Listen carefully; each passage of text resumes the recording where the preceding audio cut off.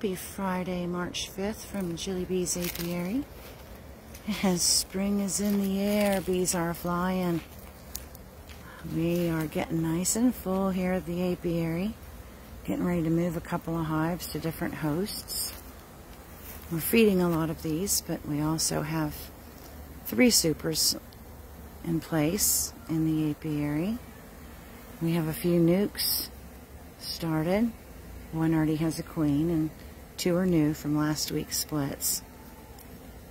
So we have nukes available if anybody wants them. Um, it's a beautiful day here today. Like I said, spring has sprung in the apiary. I'm happy. I'm tired of being cold, and so are the bees.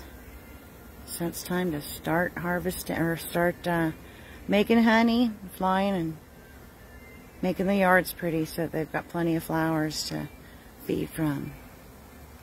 Enjoy your day, enjoy your weekend. I'll have more to show you later. We're going to go into a new hive.